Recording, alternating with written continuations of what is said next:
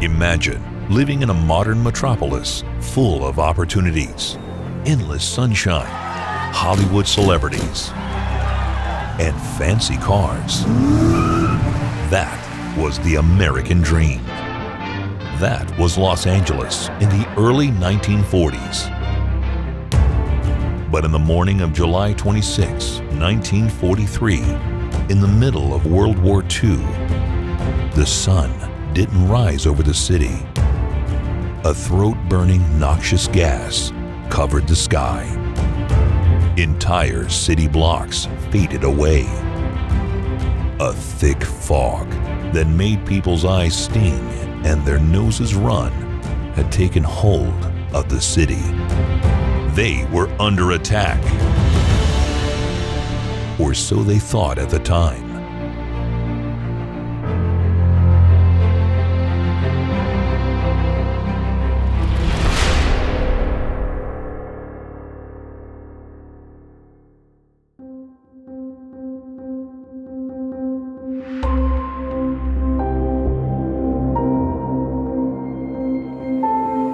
But the attack didn't come from the outside.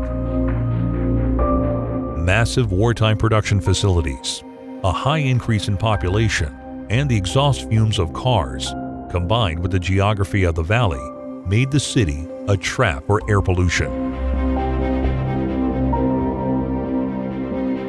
The day after the first event, city officials tried to control the damage by restricting emissions from power plants and industry.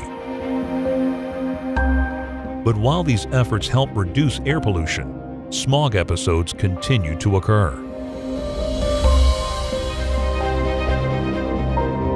Scientists discovered that volatile compounds, like the gases produced due to evaporation of gasoline during the refining process, and nitrogen oxides generated during the combustion inside car engines, both reacted with sunlight, creating a highly toxic gas, ozone and sunlight isn't precisely something Southern California lacks. But this wasn't a localized phenomenon.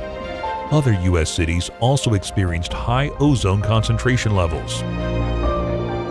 These cases made society aware of the importance of keeping track of emissions and lead politicians to implement policies to improve the quality of the air we all breathe.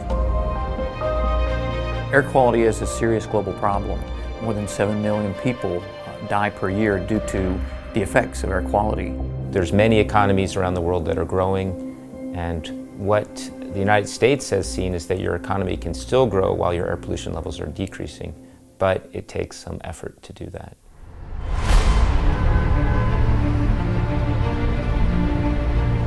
The good news is, is that air pollution levels around the world are gradually decreasing. In fact, air quality trends have improved in the last decade as a result of policies developed to reduce air pollution. Back in the 1950s, Los Angeles had a really awful air quality problem. So when the Clean Air Act began, it was a commitment to, to cleaning up the air. But the actual legislation and the differences took a long time to put into place. And so here in Asia, we're at the beginning of that process. These nations that are still increasing in their uh, standard of living and increasing in their pollution levels can learn from what's happened in the industrialized nations, we can have a more rapid decrease in pollution levels. Now we know how to uh, put together effective policies to control air quality. Understanding that economic growth and industrial development bring air quality problems and knowing how to deal with it in the future is vital for us to keep progressing as a society. Now we have better tools, better technology, and more knowledge, we can act faster and more efficiently to address pollution issues. KORUS-AQ is an international cooperative field campaign between NASA and the Korean National Institute for Environmental Research. Ministry of Environment of Korea has put in a great deal of effort into improving air quality. By working with our Korean uh, colleagues, we've been able to design a campaign that is very specific to their knowledge of the air quality problem for the past decades. Joint venture with NASA has provided us with many research opportunities.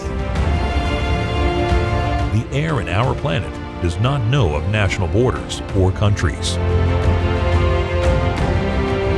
A worldwide effort is needed so that what we do in the name of progress does not have a negative impact on our health and helps preserve the only home we know Earth. KORUS-AQ combines satellite type observations with ground observations and airborne observations to create the most complete picture of air quality we've ever created. Explore with us. Take a deep breath and join us on an expedition that will investigate a major public health problem air pollution.